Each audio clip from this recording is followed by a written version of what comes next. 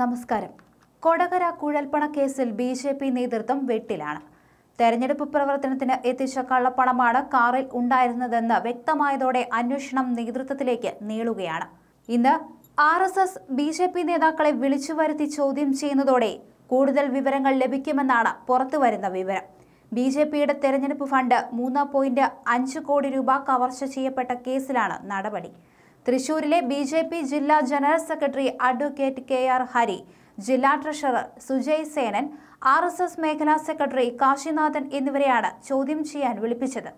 ശനിയാഴ്ച രാവിലെ ഹാജരാകാൻ മൂന്ന് പേരോടും പോലീസ് ആവശ്യപ്പെട്ടു. തൃശൂരിൽ ക്യാമ്പ് ചെയ്യുന്ന പ്രത്യേക അന്വേഷണ സംഘമാണ് ഇവരെ ചോദ്യം ചെയ്യുക. അതേസമയം കാറിലുണ്ടായിരുന്നത് മൂന്നര കോടി രൂപയാണെന്ന് യുവമോർച്ച മുൻ treasurer Sunil Naik R S S പ്രവർത്തകൻ ധർമ്മരാജ് എന്നിവർ അന്വേഷണ സംഘത്തിന് മുൻപാകെ മൊഴി നൽകി കഴിഞ്ഞു. വെള്ളിയാഴ്ചയാണ് ഇവരെ തൃശൂരിൽ വിളിച്ചു വരുത്തി മൊഴിയെടുത്തത്. സുനിൽ നായിക്കിനെയും ധർമ്മരാജിനെയും ഇനിയും വിളിപ്പിക്കുമെന്ന് അന്വേഷണ സംഘം സൂചനയും നൽകി. വെള്ളിയാഴ്ച രാവിലെ പതിനൊന്നരയോടെയും പിന്നീട് ഉച്ച കഴിഞ്ഞുമായിരുന്നു ഇരുവരെയും ചോദ്യം ചെയ്തത്. പോലീസ് ക്ലബിലായിരുന്നു തീരുമാനിച്ചതെങ്കിലും രഹസ്യ കേന്ദ്രത്തിൽ എത്തിച്ചായിരുന്നു ചോദ്യം ചെയ്യൽ.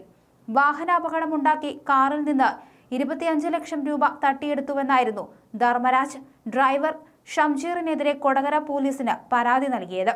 എന്നാൽ ബി ജെ പി തെരഞ്ഞെടുപ്പ് ചെലവിനെത്തിച്ച മൂന്നര കോടിയാണ് കവർന്നതെന്നായിരുന്നു സി പി എമ്മിന്റെയും കോൺഗ്രസിന്റെയും ആരോപണം. പത്തൊൻപത് പ്രതികളിൽ നിന്നായി ഒരു കോടിയിലേറെ രൂപ അന്വേഷണ സംഘം ഇതിനോടകം തന്നെ കണ്ടെടുത്തു. ബിസിനസ്സുമായി ബന്ധപ്പെട്ട് സുനിൽ നായിക് നൽകിയ പണമാണ് ഇതെന്നായിരുന്നു ധർമ്മരാജ് പോലീസിനോട് പറഞ്ഞത്. ഇതിന് രേഖകളുണ്ടെന്നും അറിയിച്ചിരുന്നു. എന്നാൽ രേഖകൾ ഇതുവരെയും എത്തിച്ചില്ല.